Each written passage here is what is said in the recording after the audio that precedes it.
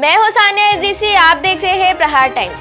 आजकल चोरों का दिमाग काफ़ी तेज हो गया है। वो लोग चोरी या लूट करने का अलग अलग तरीका आजमा रहे हैं और उसमें सफल भी हो रहे हैं। ऐसी ही एक वीडियो सोशल मीडिया में काफ़ी वायरल हो रही है। यहाँ चोर के चोरी करने में ज़्यादा समय भी नहीं लगता और एक मिनट में वो चोरी कर वहाँ से फरार भी हो जाता है।